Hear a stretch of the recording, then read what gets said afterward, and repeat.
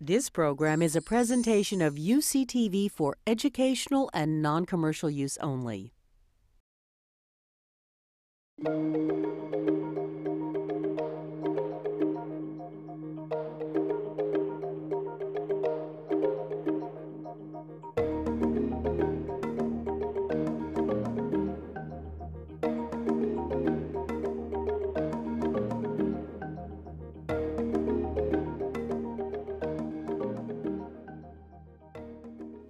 Good evening.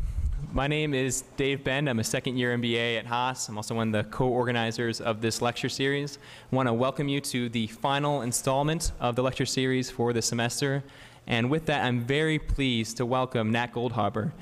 Nat is the managing director of Claremont Creek Ventures. Before founding Claremont Creek Ventures, Nat had a variety of executive positions in technology companies. He was the founding CEO of Kaleida Labs. He was the CEO of CyberGold, which was sold for a small chunk of change to MyPoints. He was also a vice president at Sun Microsystems. Now, Nat's interests do extend beyond technology. At one point, he served as the energy director for the state of Pennsylvania, and he is also a licensed pilot. So, please all join me in giving Nat a warm welcome to UC Berkeley.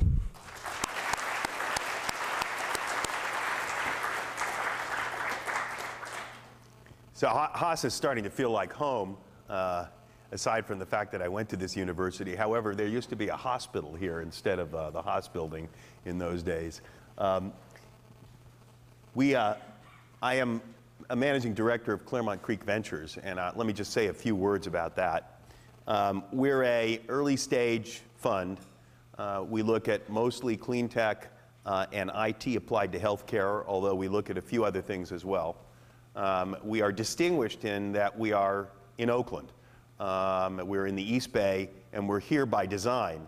We wanted to be close to UC Berkeley because, as we all know, absolutely beyond any shadow of a doubt, UC is a great university, and all the rest of venture capital is on Sand Hill Road next to that other university, which lost recently, I understand, to our team. And, and, it, and it, it, there's essentially no venture capital other than us in the East Bay. Uh, so it seemed absurd that all the good ideas coming out of Stanford had people pounding on doors to fund, and there was nothing in the, in the East Bay for uh, the great ideas that come out of Berkeley, out of LBL, uh, out of Lawrence Livermore, and if you extend the definition just slightly, uh, that come out of UC Davis. So we set ourselves up here uh, in, in Oakland. Um, and there were three of us who were the founders of this little fund. Um, and each of us has uh, some common characteristics, uh, which are not necessarily common to most other venture capital funds. Each of us started a company and took it public. Each of us has worked as a vice president or higher in a Fortune 500 company. And each of us had previously been in another venture capital fund. So we believed, and you know, time will tell whether we were right or not, that that was a unique set of characteristics. Set of characteristics that enabled us to talk to new entrepreneurs, to rising entrepreneurs, about what it was that we learned when we started the companies that we worked in and then made the transition from those companies working into in big companies.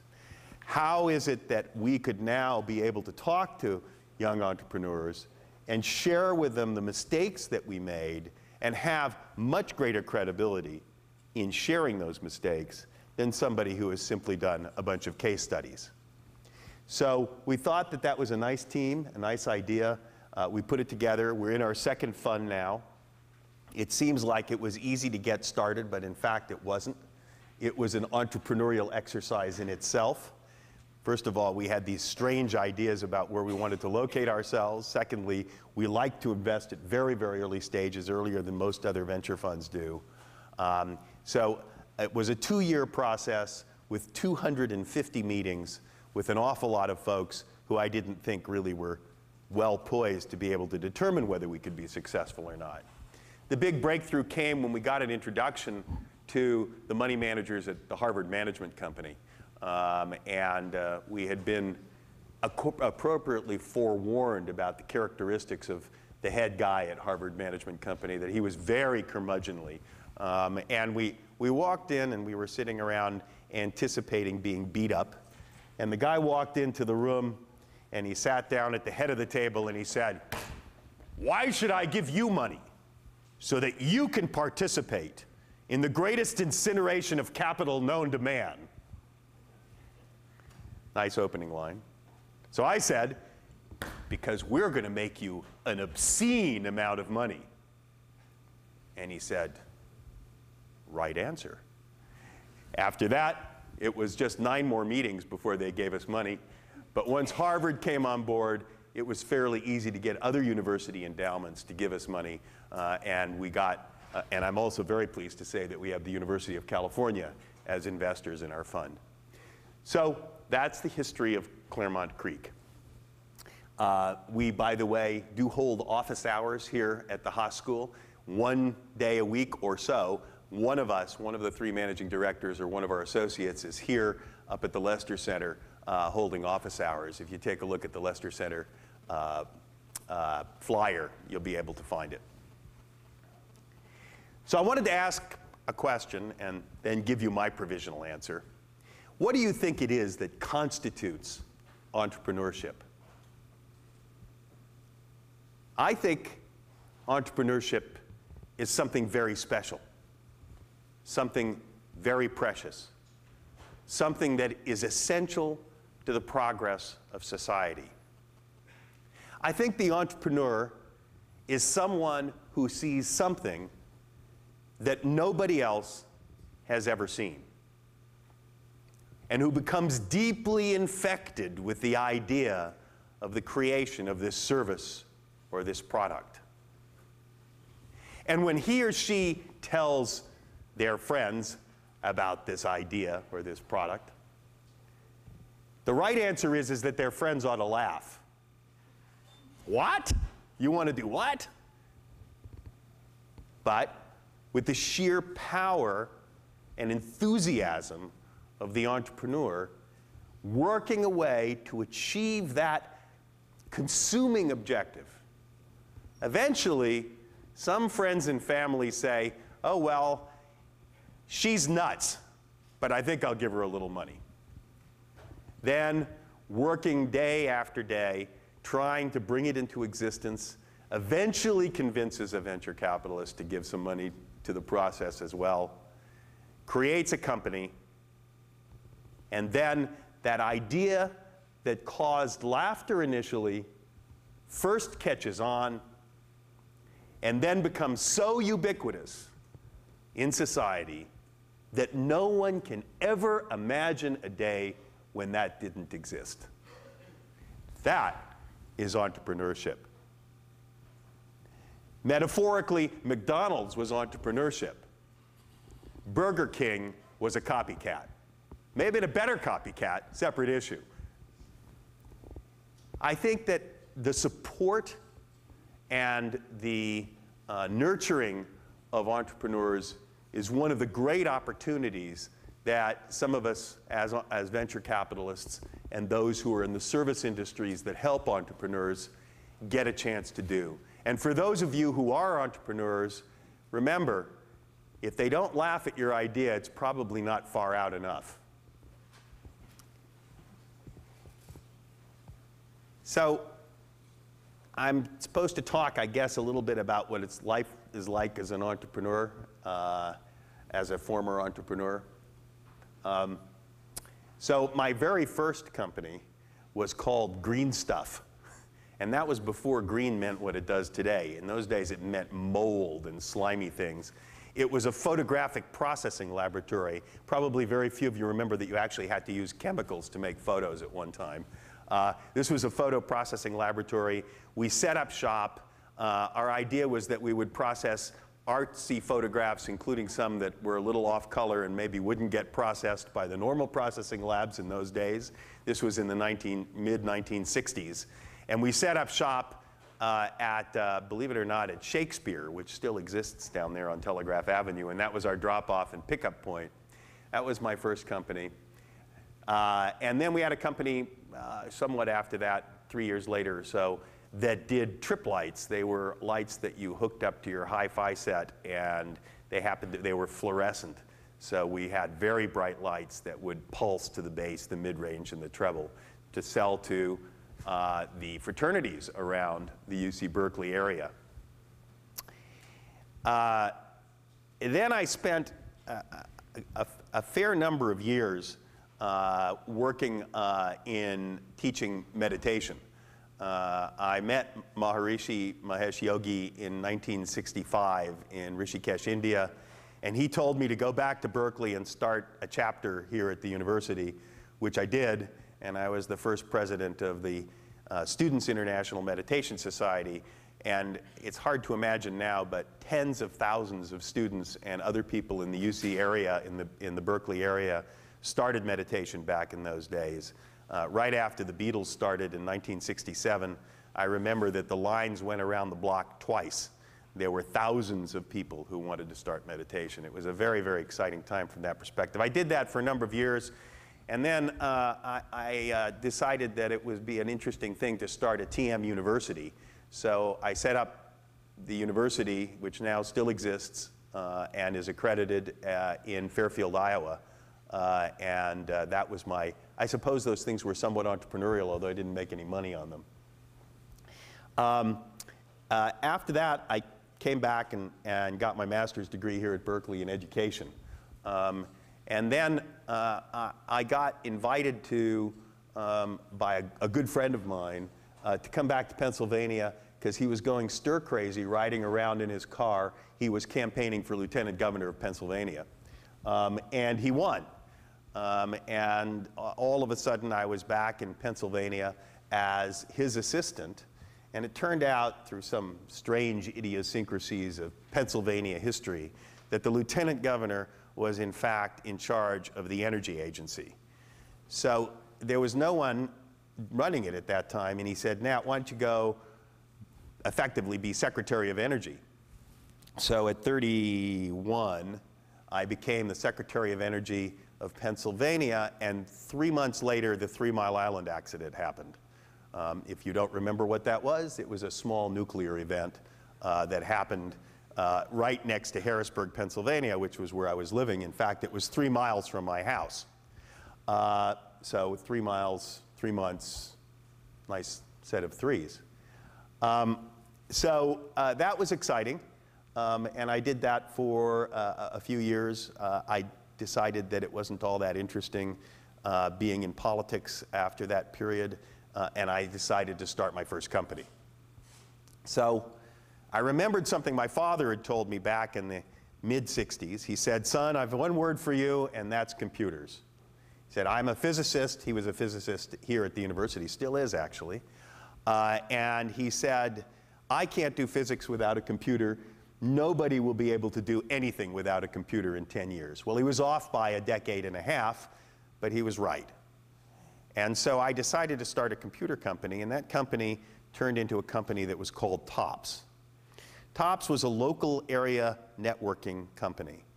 And uh, it, it, was a company that, uh, that we had conceived and then whose idea evolved around basically taking microcomputers, linking them together for an office environment. Now, it's hard to imagine this, but that really didn't exist.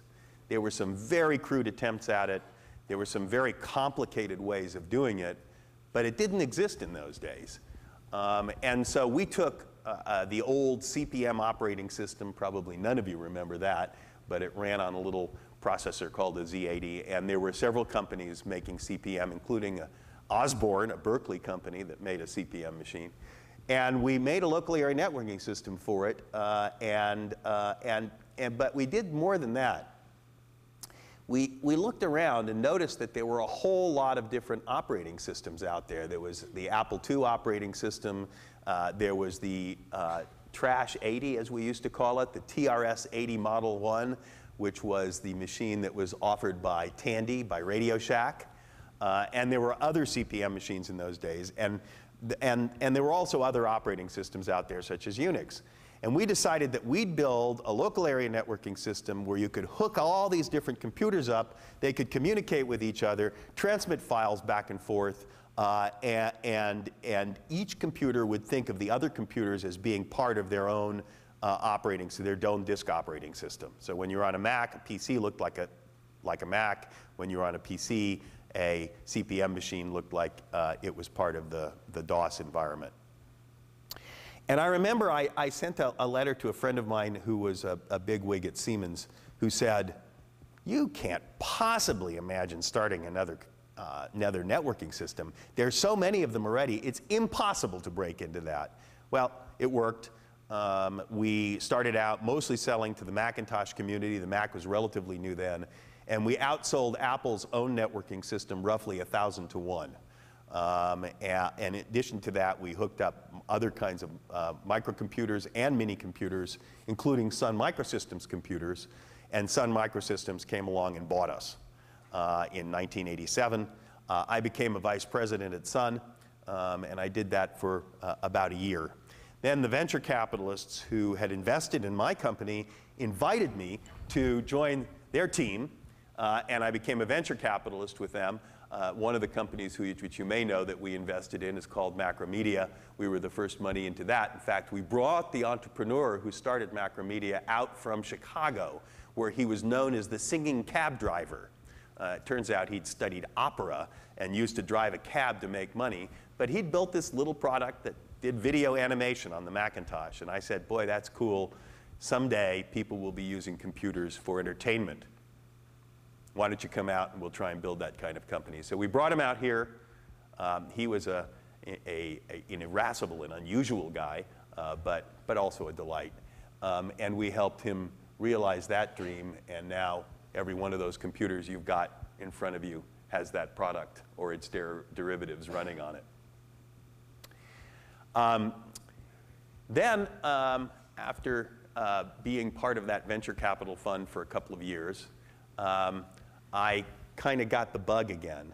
My partners went off to this crazy company that couldn't possibly make it in Washington called AOL, uh, where they both made a lot of money.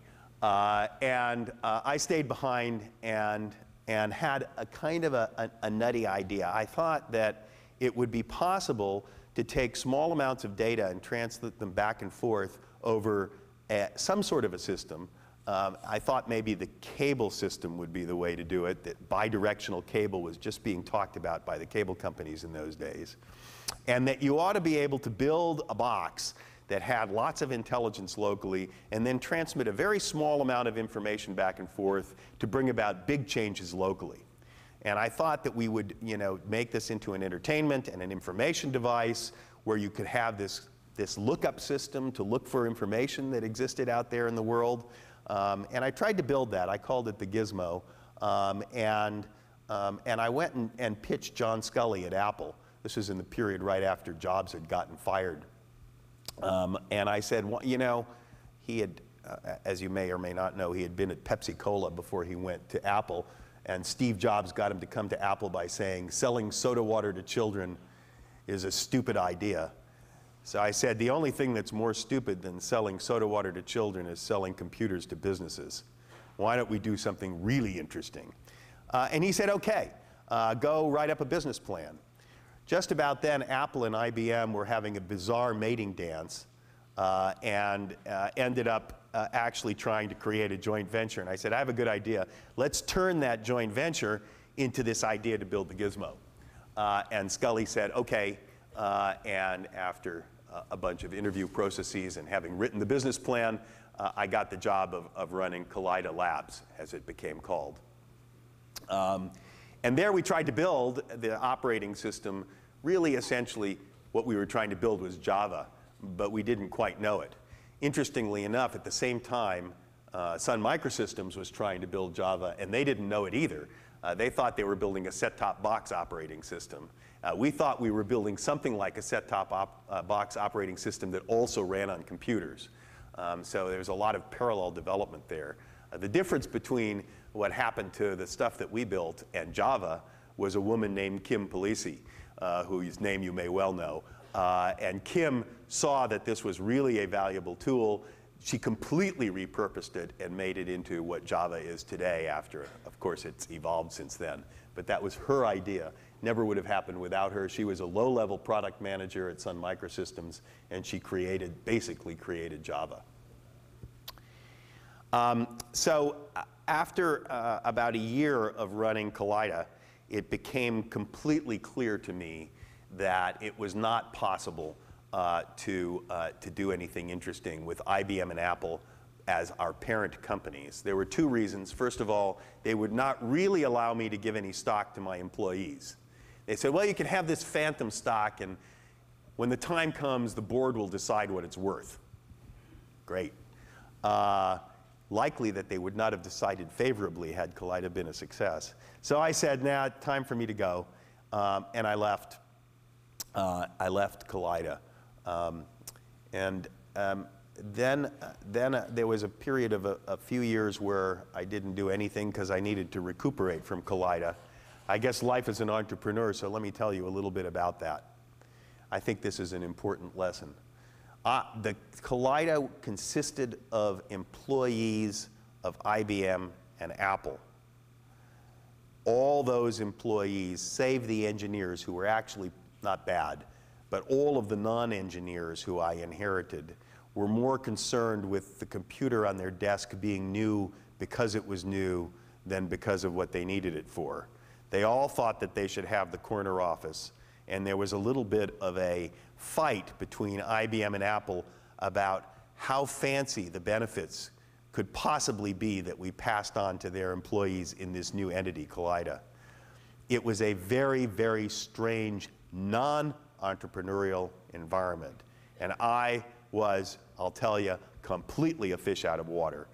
So I had a $20 million budget in the first year. Now you have to adjust that. That was uh, in 1990. That's like maybe a $50 million budget now, let us say. And I had all that money and all those people, uh, and none of them really cared about what they were doing. They didn't have the fire in the belly.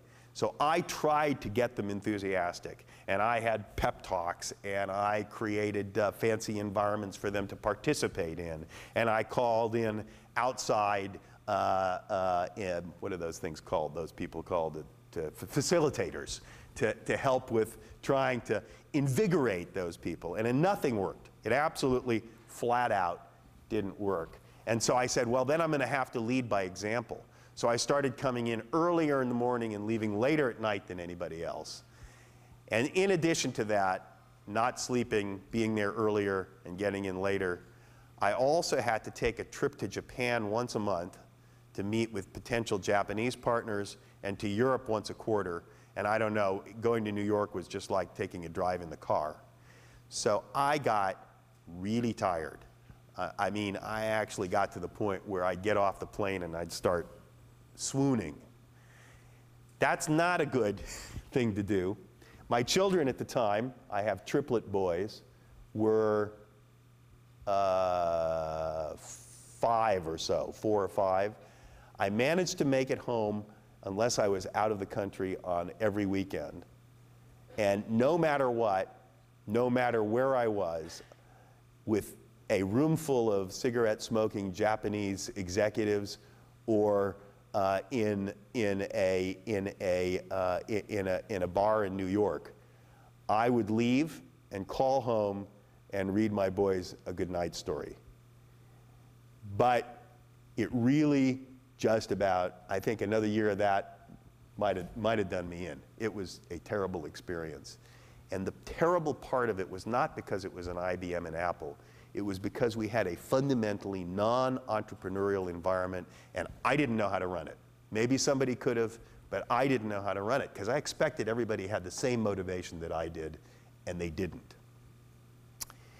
So a, a couple of years of recuperation after that, um, I, um, I started my next company. That company was called CyberGold. Um, CyberGold was a real classic get bit by an idea entrepreneurial uh, environment, I, I started to think about what it meant to have essentially a frictionless way to distribute information back and forth between human beings, and how the traditional publishing environment related to that. And I came to the conclusion that what was important, what was valued amongst people and in their interactions was attention. People want your attention. Advertisers want your attention. And you, in turn, are interested in things that you're interested in because you would like to pay attention to them. And I had the idea that you could actually build effectively an online economy related to attention. If people wanted your attention, they would pay you with an online currency for your attention.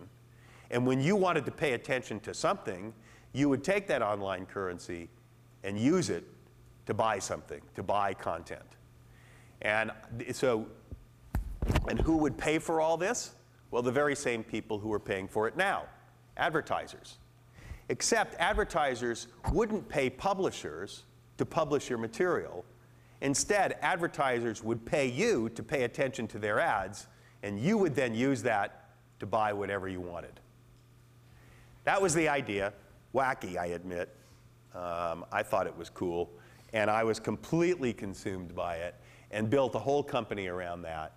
And when we started the company, that's what we were headed towards. I mean, I wouldn't hear about anything else. But then we started to realize that it might also be important to make money. And so we started actually doing online advertising, early email campaigning, uh, and other things, which we did pretty well at. Uh, we were able to take the company public in 1999. Of course, it didn't take that much to go public in 1999. If you had a business and, a, and you were breathing, you were worth at least $10 million. If you were breathing hard, you were worth 20. Uh, and if there were a few of you breathing together, you could easily get a value of several hundred million dollars for your company. So we went public in 1999. Uh, and after a couple of years, we merged with a company that came right out of Haas here at Berkeley uh, called MyPoints. And then happily, we sold the entire uh, aggregate company to United Airlines for cash three months before 9 11. So we were, um, we were very lucky to have gotten out with cash when we did.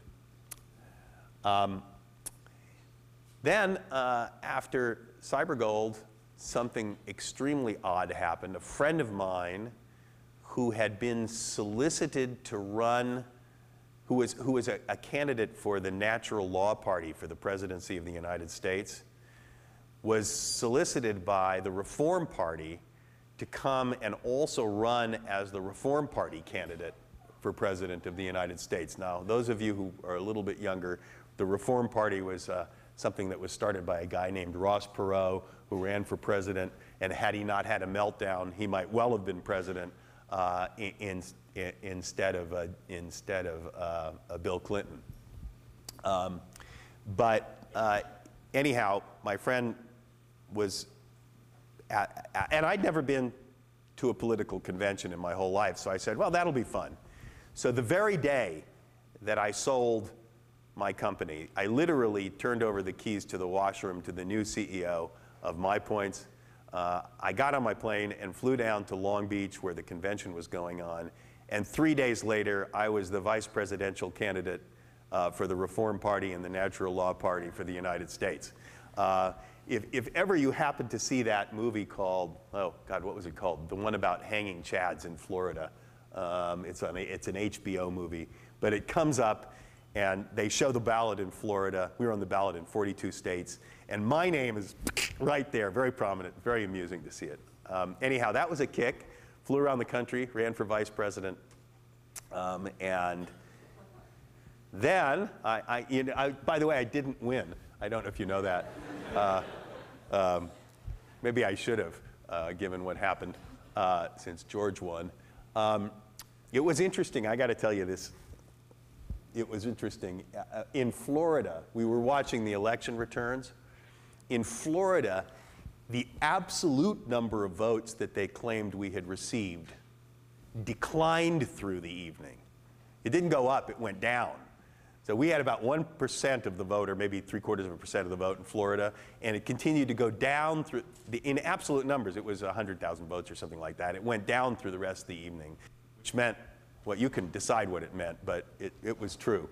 Um, I actually do have an explanation for it, which I'll tell you some other time, but it, it was not probably completely illegitimate, but it was bizarre.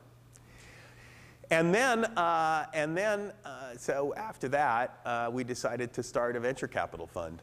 Um, and uh, my former um, chief financial officer of the public company and, of, and later on of, of, uh, of MyPoints uh, and I and one other guy uh, got together uh, and started a venture capital fund. The original, original idea was to start a venture capital fund associated with an angel group called the Keiretsu Forum.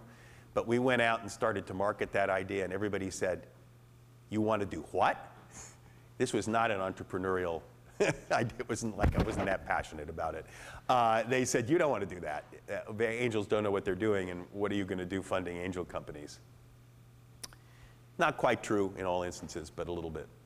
So we started Claremont Creek Ventures about five years ago, uh, and we're here in Oakland trying to help young entrepreneurs and middle-aged entrepreneurs, even old entrepreneurs occasionally, realize their dreams and really make a change in society and for the world. So that's my quick two-cent history uh, of my entrepreneurial and venture capital experience. Uh, I have no idea what other people who have sat up here have done before, but um, this is the first time I've ever given a speech without a slideshow, at least in the last 20 years. It's interesting. Um, so I, I'd be very happy to open it up to any questions that you might have.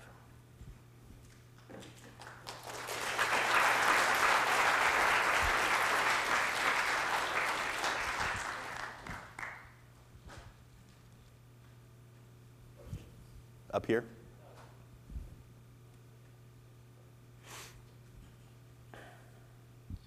Um, do you think there's ever going to be another bubble burst uh, in the technology sector? Um, I guess within the next decade or so, and if so, what what would you look out for um, in that case? A bubble burst. Well, IT technology. Do you mean a burst or do you mean the reverse? Do you think will there be another bubble? I don't think we have a bubble at the moment. Will there be another bubble? Do you think? Uh, you know, I think there may be a kind of mini bubble associated with, uh, with the enthusiasm for green tech. Um, and there may be some stuff that's pretty silly that's getting funded uh, these days, and maybe occasionally a too high evaluation. But I have to say that the most recent recession has taken a lot of the kind of over enthusiasm out of the equation. Uh, and from my perspective, it's been a good period because an awful lot of bad venture capital funds have gone out of business who were not doing any good to anybody. Um, and so um, there's less competition for deals, uh, and entrepreneurs are much more serious now than they were a few years ago. So I don't see a bubble in the, I mean, you tell me what the economy is going to do, and I'll tell you whether there'll be a bubble. Uh, if we see a huge resurgence of the economy, if IPOs become easy to get once again, if M&A transactions really step up again back to where they were a few years ago, I imagine we could see a bubble, and if I were to predict, I would say it would be in the area of, of clean tech. Uh, it, but at the moment, I don't think it's happening. Hi, what kind of clean tech companies are you guys investing in? What sector specifically? We're, we're a small fund. Um, so we're, we're, I mean, let me give you a definition of what small is these days. It's, we're, we're $300 million under management. So that's a, it's not a tiny fund, but you know, when, when many of my friends have billion dollar funds, I sometimes feel inadequate. Um, the, uh, the, the, so by definition, we have to invest in early stage stuff and we have to invest in capital efficient stuff. And the only area of true capital efficiency in clean tech, or one of the principal areas, is in energy conservation. Uh, you don't need to spend five years building some kind of slime that you can put in your diesel truck, which is very expensive, uh, very capital intensive. Uh, you don't need to build huge plants for solar collectors and so on. But instead, you can build a device that goes in the home that allows you to save energy or some sort of a communications mechanism to save energy. Much more capital efficient. That's the kind of stuff that we're investing in in clean tech. Another company that came right out of Haas uh, is one of ours. It's uh, Adura Technology. So Adura was founded by a, a professor uh, in, the, uh, in the School of Architecture and two Haas, two Haas graduate students. And they, uh, they created this company, which I think is really a fantastic company. It won the Cleantech Open uh, and then it, it won the Cleantech Open a second time as the best alumni company. Uh, they, they do uh, energy management of lighting. Um, so, you know, how do you, how do you in, a, in a room, in a building that has uh, asbestos in the ceiling, how do you turn off individual lights without rewiring everything through a wireless mesh network? Anybody else?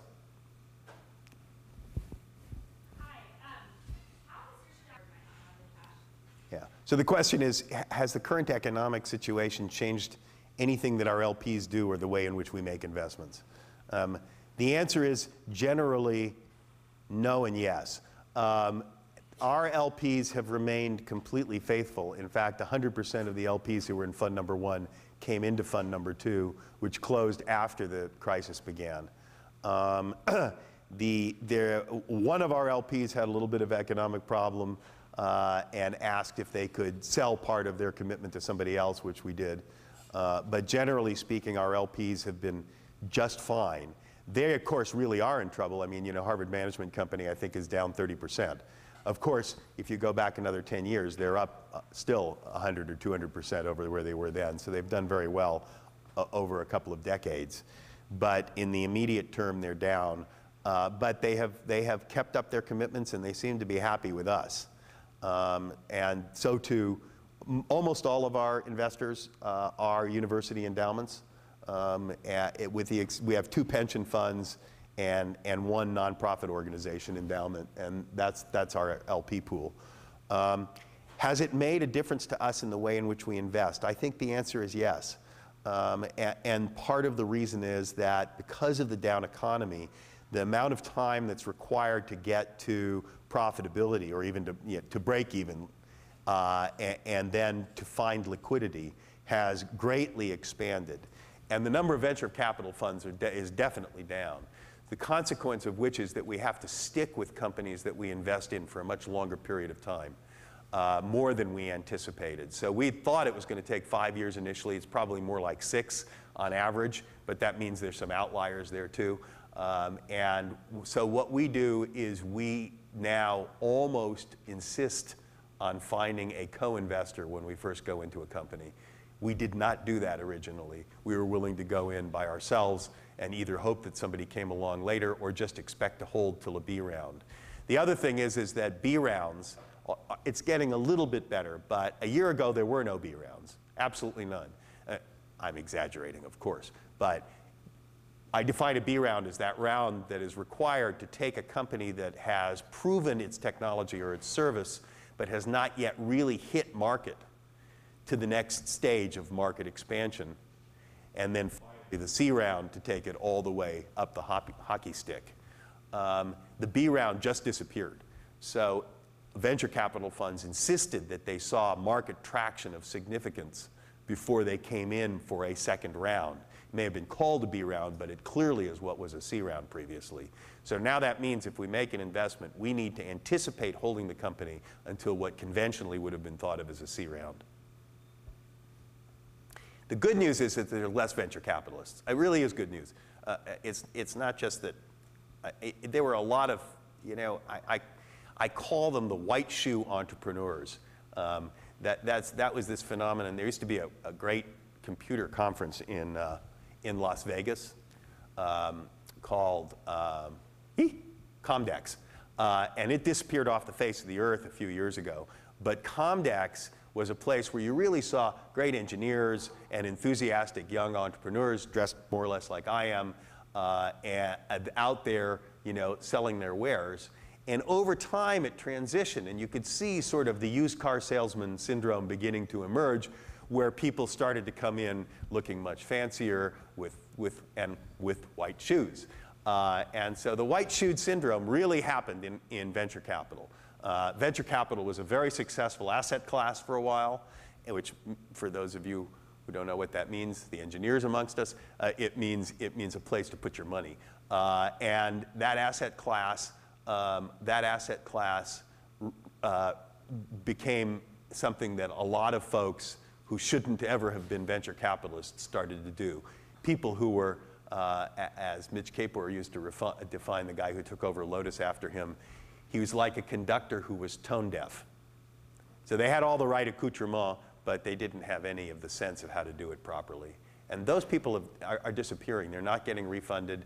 Um, and so there's a much more rational marketplace for the emergence of great entrepreneurs. And I think the venture capitalists who still persist are much better venture capitalists, those who are willing to go in and help the entrepreneur realize his or her dreams.